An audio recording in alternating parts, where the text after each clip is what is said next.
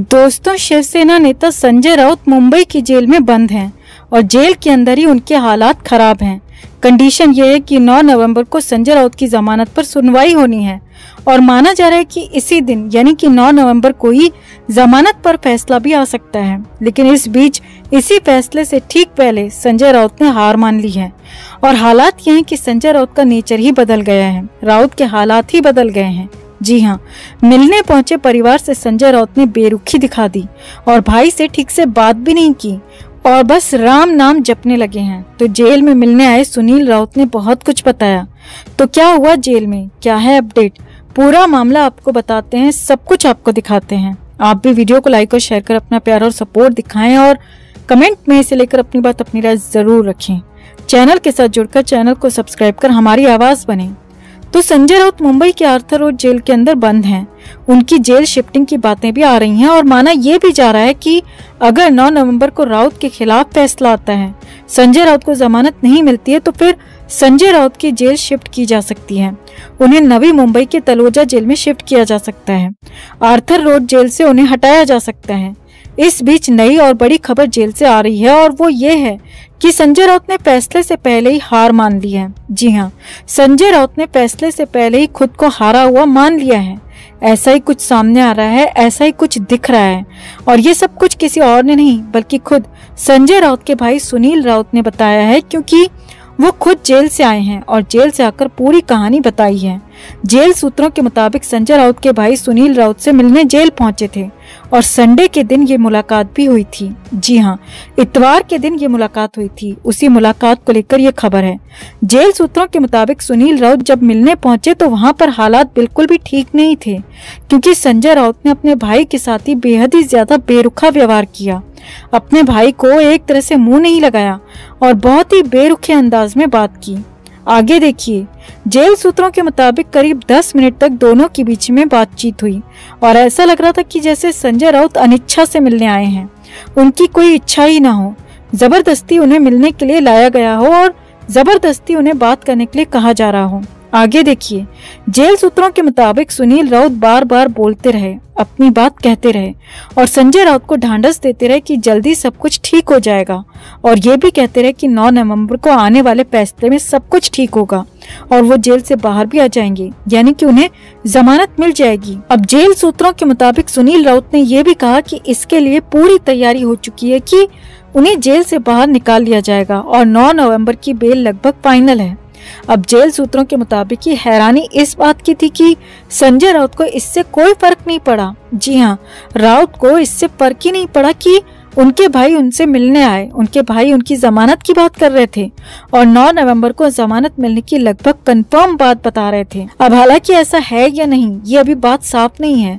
लेकिन हाँ संजय राउत के भाई ढांढस दे रहे थे और राउत को इससे कोई मतलब नहीं था। बेहद ही ज़्यादा बेरुखा व्यवहार संजय राउत ने अपने भाई के साथ, परिवार के साथ किया। यही नहीं, जेल सूत्रों के मुताबिक संजय राउत इस मुलाकात के दौरान बार बार अपने मुँह से कुछ शब्द ही निकालते रहे।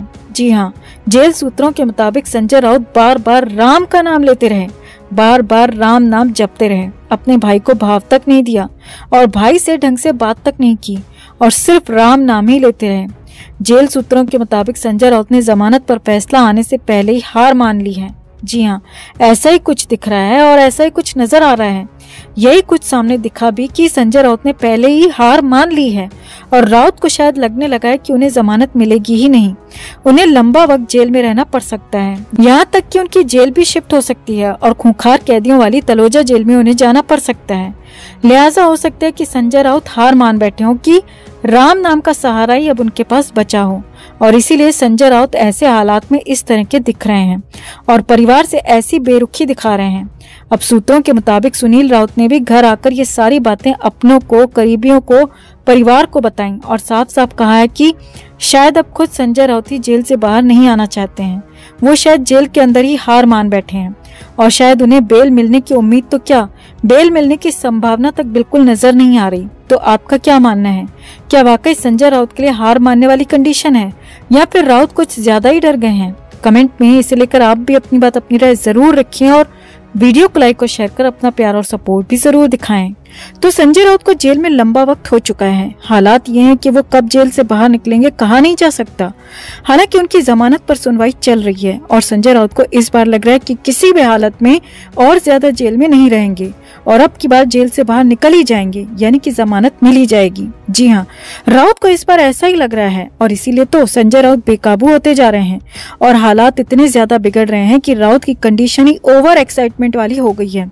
और इसी ओवर एक्साइटमेंट में संजय राउत ने कुछ ऐसा कर दिया है, कुछ ऐसा कह दिया है, जिससे कि बवाल हो गया, हालात बेकाबू नज़र आ रहे हैं। अब पहले पूरा मामला समझिए, फिर इसे पूरा डिकोड करेंगे। तो जेल सूत्रों के हवाले से बड़ी खबर यह है कि संजय राउत ने जेल में अनोखी परमिशन मांगी है, और वो अनोखी परमिशन है जेल के अंदर पार्टी की परमिशन। जी हाँ जेल सूत्रों के हवाले से बड़ी और हैरानी भरी खबर है कि संजय राउत जेल में पार्टी करना चाहते हैं, और इसके लिए परमिशन मांगी है। जेल सूत्रों का कहना है ऐसा।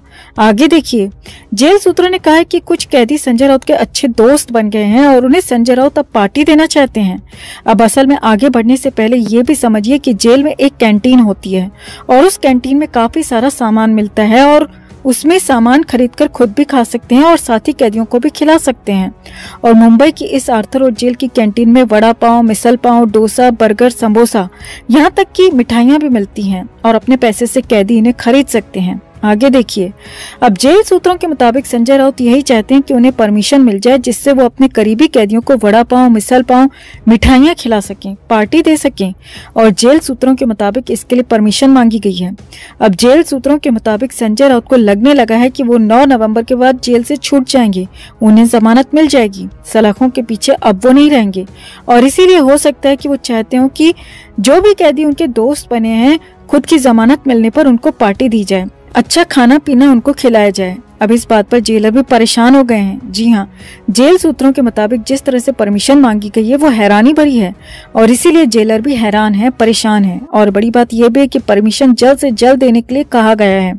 ऐसे में सवाल ये भी उठने लगा है कि इस परमिशन के बहाने कहीं कुछ और करने की प्लानिंग तो नहीं हो रही? क्योंकि पहले भी ऐसा जेल में होता रहा है। जब इस तरह की कोई परमिशन मांगी गई हो और वहाँ पर मामला कुछ और ही निकला हो। और ऊपर से संजय राउत इस बात के लिए बार बार कह रहे हैं, ज़ोर डाल रहे हैं। और जेल सूत्रों के मुताबिक संजय राउत की हरकतें भी अजीब हैं। ओवर एक्साइटेड नज़र आ रहे हैं और बहुत ज़्यादा खुश भी दिख रहे हैं। अब ऐसा अचानक कुछ हुआ तो नहीं है कि संजय राउत इतने खुश हो जाएँ और अभी से जेल से बाहर निकलने का जश्न मनाने लगे, जबकि अभी तक तो फैसला भी नहीं आया है। जेल से बाहर निकलना तो बहुत दूर की बात है। अब इसी बात से परेशान होकर जेल प्रशासन ने संजय राउत के लिए डॉक्टर बुला लिया। और वो भी स्पेशल वाला डॉक्टर जी हाँ आप समझ ही रहे हैं। जेल प्रशासन परेशान हो गया कि कहीं संजय राउत का मानसिक संतुलन तो नहीं बिगड़ गया। यानी सरल भाषा में कहा जाए तो कहीं संजय राउत पागल तो नहीं हो रहे। और संजय राउत की हेल्थ के चेकअप के लिए मानसिक इलाज करने वाले डॉक्टर को बुलाया गया और कुछ टेस्ट भी किए गए हैं। और जेल सूत्रों के मुताबिक इन टेस्ट की रिपोर्ट आना अभी बाकी है। राउत का ओवर एक्साइटमेंट बेहद ही ज़्यादा है और इसीलिए संजय राउत के बर्ताव पर, उनके हालात पर शक हो रहा है। अब जो भी हो, राउत के लिए ये ठीक नहीं है, क्योंकि अभी तक जमानत मिलना तो बहुत दूर की बात है। अभी तो कोर्ट ने राउत के पक्ष में तक कोई बात नहीं कही। और दूसरी बात यह है कि संजय राउत का एक्साइटमेंट बहुत ज़्यादा बढ़ गया है, जिससे परेशानी हो रही है कि आखिर ऐसा हो क्या गया है। और इसीलिए डॉक्टर को बुलाया गया इलाज तक करवा लिया गया